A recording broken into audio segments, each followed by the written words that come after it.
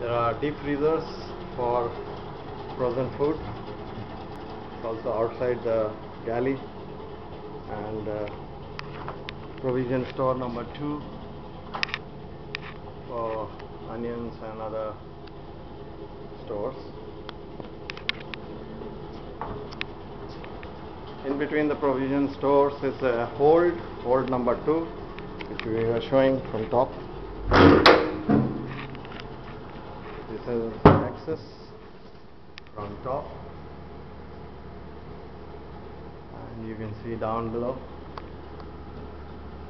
Also there are some materials now kept, but there is about 100 cbm space here, which can be utilized.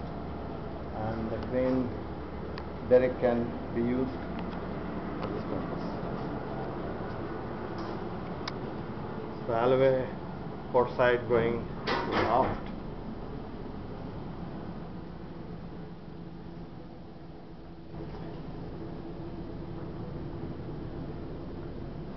This is the main deck.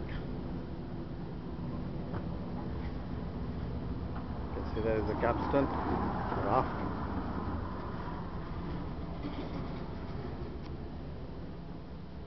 and this is starboard side alleyway and in between is the accommodation for classes library. Now we'll enter so restricted area. You can see the classrooms now. The different ropes.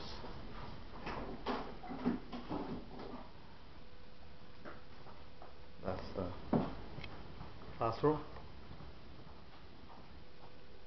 For about 20 students can be accommodated here.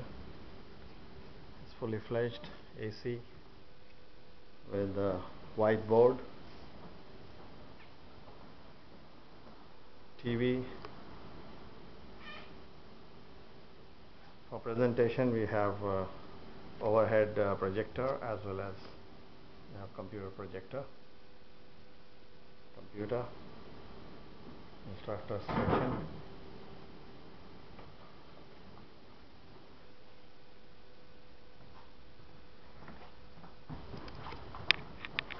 On top of the classroom is uh, either you can use it as a classroom number two or you can use it as a, a library.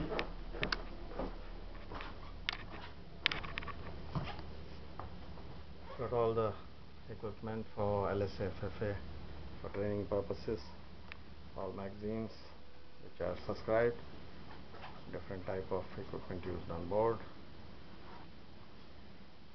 all our previous passing outs whiteboard classroom.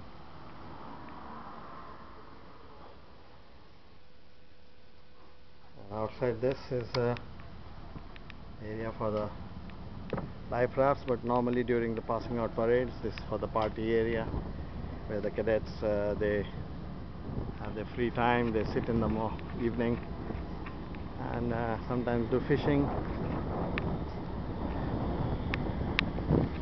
So this is right at the aft. You can see the ship